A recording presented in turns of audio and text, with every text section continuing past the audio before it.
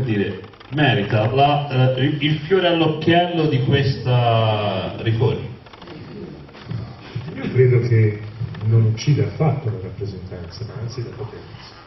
Perché se la Camera funziona, e se la Camera diventa il vero arbitro dell'esistenza o non esistenza del governo, scusi, se la Camera funziona e diventa il vero arbitro dell'esistenza o non esistenza del governo, della fiducia o della sfiducia, la Camera può contare molto di più di quanto non conti oggi.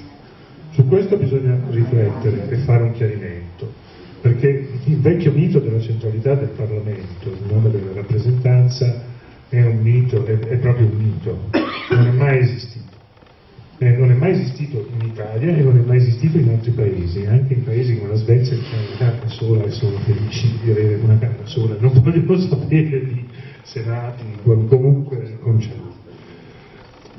Non c'è dubbio che quel fenomeno che noi chiamiamo multilivello, nel costituzionalismo si chiama così, una brutta parola, ma significa sostanzialmente che il potere oggi è diviso un po' in strati. No?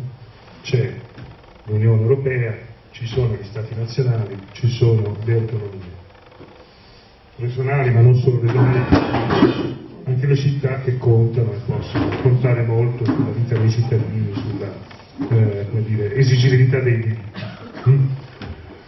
In, in, una situazione di questo tipo, dove il potere è frammentato in almeno quattro grandi esecutivi, il sindaco, la giunta regionale, il presidente di regione, il governo nazionale e la Commissione europea e il Consiglio europeo, quindi l'intergovernabilità, non la governabilità, l'intergovernabilità. intergovernabilità. Eh, è molto difficile che le, le assemblee elettive contino qualcosa, perché il gioco è un gioco di relazioni fra esecutivi. Io ai miei studenti lo spiego così, vediamo se consumo tutto il mio tempo, ma è una cosa abbastanza divertente. Per riunire i governi europei ci vuole un tavolo con 28 posti. Qualcuno? Eh? 27. Sì, sono 28 perché i francesi si presentano in due, il Presidente della Repubblica e il Capo del Ma insomma questi sono che non ha molta importanza, perché sono davvero un semipresidenzialismo. Eh, per, per, mettere insieme tutti i parlamenti europei ci vuole un palazzetto dello sport, ma di quelli grossi, con almeno 12.000 posti? Con qualche migliaio di posti. Ora, mentre da un incontro fra 27 o 28 persone può uscire fuori qualche decisione, brutta, buona, dipende da chi ci sembra andare, dipende da noi elettori, eh, da un'assemblea di qualche migliaio di persone che si riuniscono un giorno in un palazzetto dello sport non esce fuori niente. Non si fa nemmeno a malapena tempo a far parlare tutti, si fa parlare qualcuno che forse qualcuno dice qualcosa ma è molto difficile votare che si voti qualsiasi cosa.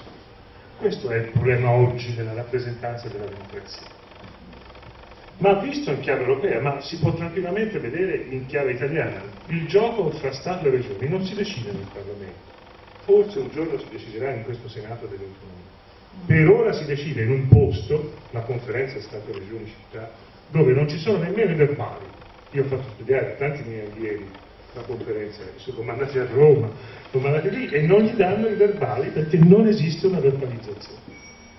Il governo, quando incontra gli assessori o i presidenti di regione, non fa verbali. Ci si trova d'accordo, si rimane d'accordo così e Questa non è democrazia.